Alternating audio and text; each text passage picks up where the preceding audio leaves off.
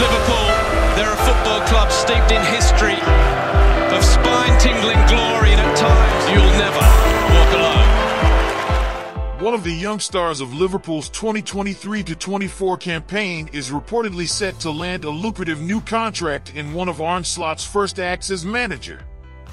20-year-old right-back Conor Bradley endured a frustrating start to his Reds career due to injuries, but he benefited from Trent Alexander-Arnold's fitness woes to make a name for himself last season. From 23 appearances in Jurgen Klopp's farewell campaign, Bradley contributed one goal and six assists in all competitions, starting 10 Premier League games and the EFL Cup final success over Chelsea.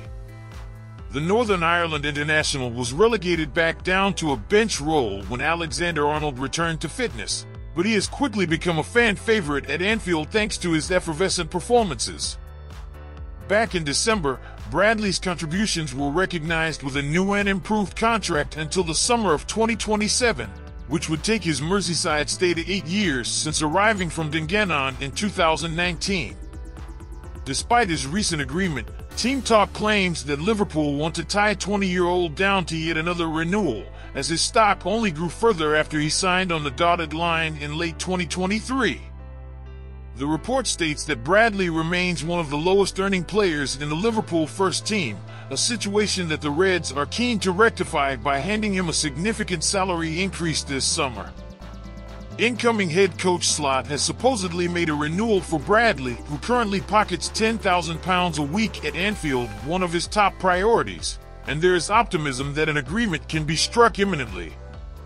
While Bradley was initially expected to play second fiddle to Alexander Arnold again next term, the latter could supposedly push Slot for regular starts in the engine room, in turn allowing Bradley to stake his claim for the right back position. The Northern Irishman has now contributed a total of one goal and seven assists in 28 matches for Liverpool, who loaned him out to Bolton Wanderers for the 2022-23 season before his first team breakthrough. Bradley's new and improved Liverpool deal ought to go through without any major hitches, but there are still a handful of other contract concerns for Slot to attend to once he officially begins work at Anfield on July 1st. There has still been no movement whatsoever on the deals of Mohamed Salah and Virgil van Dijk, both of whom are out of contract in 2025 but are expected to stay on for next season to help oversee Slot's transitional period.